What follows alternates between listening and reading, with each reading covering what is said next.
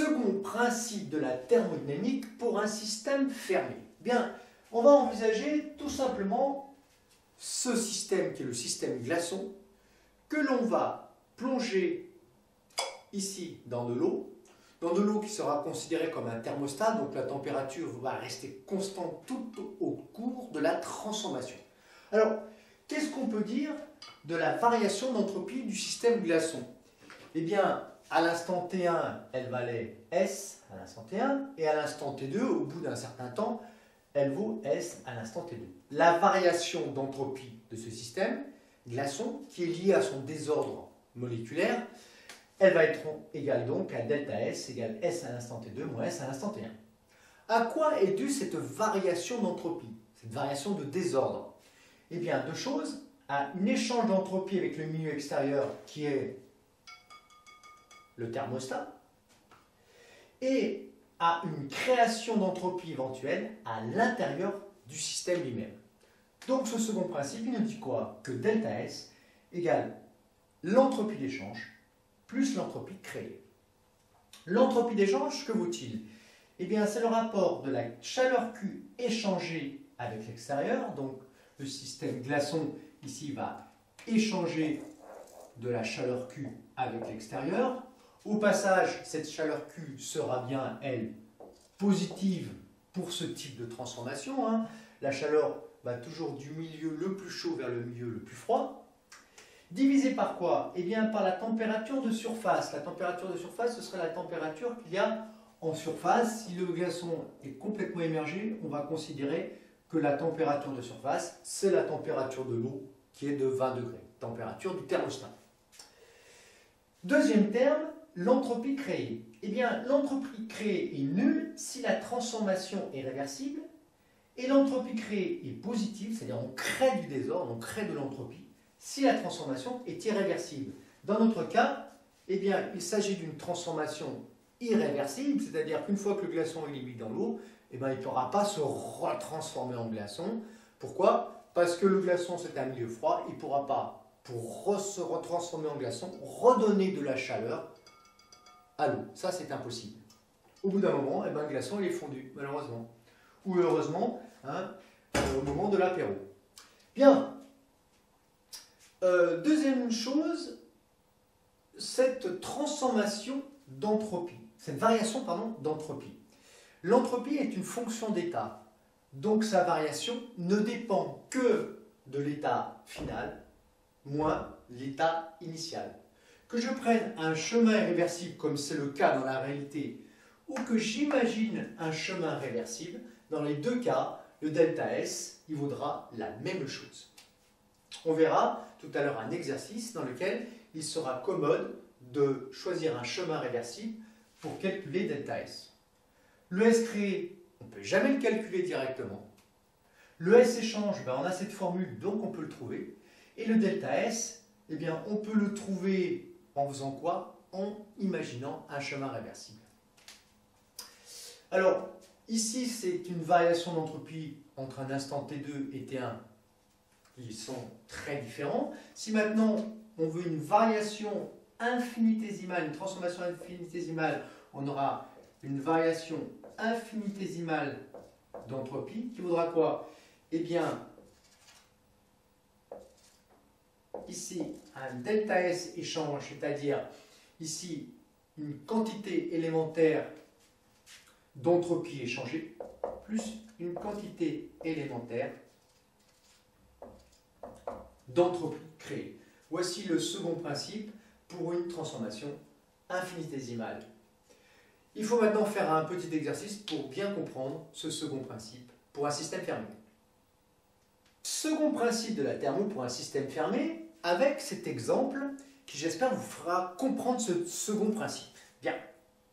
Le système, c'est une masse d'aluminium de 1 kg à la température de 500 Kelvin. Attention, l'unité légale de température, c'est le Kelvin et pas le degré Celsius. Pour information, ça nous fait donc 500 moins 273, c'est-à-dire eh bien, 227 degrés Celsius. C'est chaud.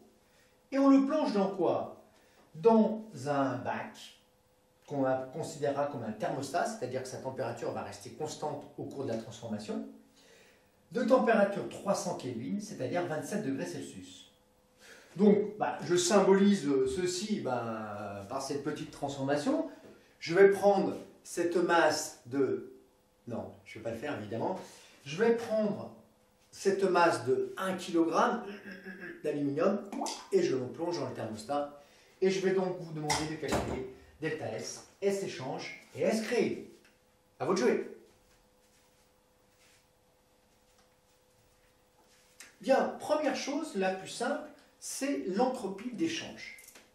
L'entropie d'échange, c'est égal à quoi? À la chaleur Q échangée par le système avec l'extérieur divisé par la température de surface, c'est-à-dire la chaleur Q divisée par la température de surface qui est la température du thermostat, donc T2.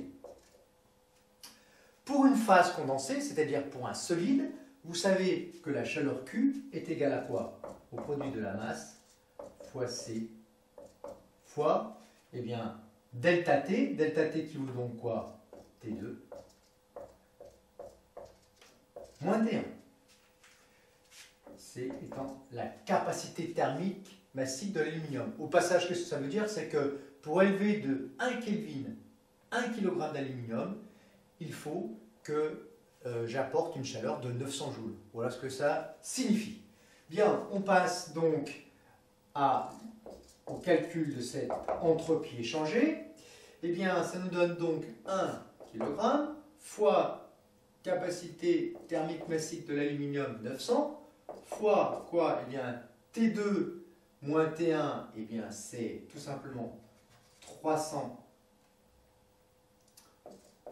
moins 500, le tout divisé par la température T2 qui est égale à 300.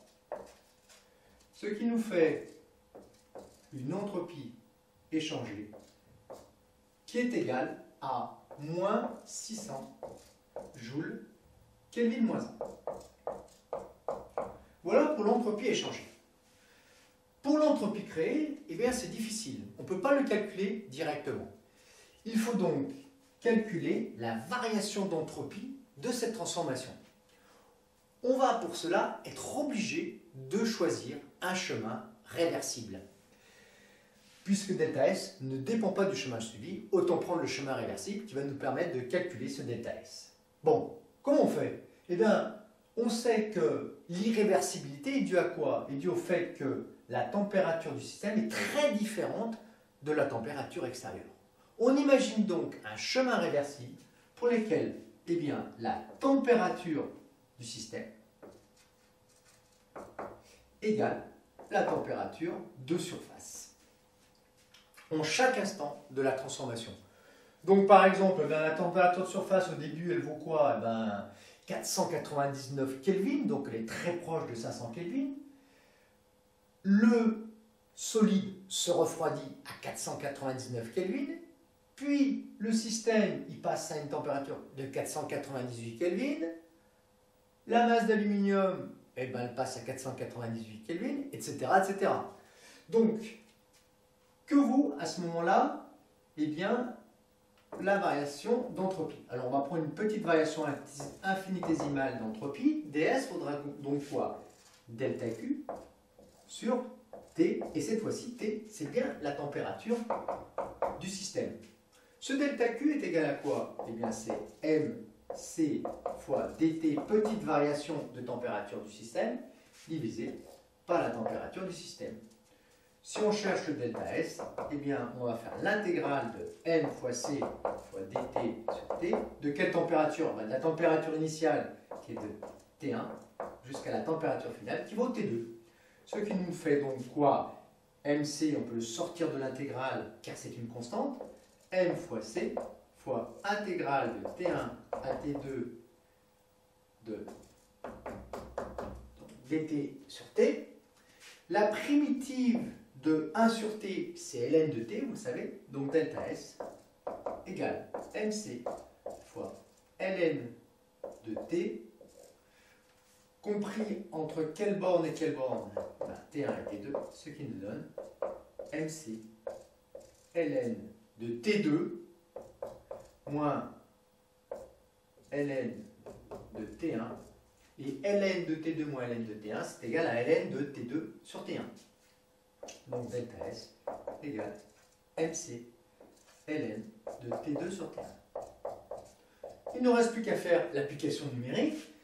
1 kg fois quoi? Fois 900 joules, kilogramme moins 1, Kelvin moins 1, fois ln de T2, eh bien, c'est la température finale qui vaut 300 sur 500, ce qui nous fait moins 460 joules Kelvin moins 1. Bien, au passage, on voit que la variation d'entropie du système est bien négative, il perd de l'entropie. Pourquoi? Parce qu'il se refroidit, donc globalement il perd du désordre moléculaire. Plus c'est chaud, plus ça s'agite et plus l'entropie est grande en règle générale. Bon, euh, qu'est-ce qu'il nous reste à faire? Mais c'est gagné maintenant. Hein. Cette fameuse entropie créée qu'on ne peut pas calculer directement, maintenant on va la calculer indirectement, puisqu'on sait que la variation d'entropie du système égale l'entropie d'échange plus l'entropie créée. Attention, il y a 3 E. 3E. Donc, S créé égale eh ben, delta S moins S échange. Ça nous fait donc delta S, c'est moins 600. Moins 600, moins moins 460. Ça nous fait donc euh, delta S créé. Pardon. Moins 460, moins 460, moins, moins plus 600, ça fait donc bien 140 joules Kelvin moins 1. Au passage, eh bien, on voit que S c'est positif ou nul? C'est positif, donc on est presque sûr d'avoir trouvé la bonne solution. Ensuite, eh bien, toujours la même chose, on a créé de l'entropie. Pourquoi? Parce que cette transformation, elle est irréversible. C'est normal. Quand la transformation est irréversible, il y a création d'entropie.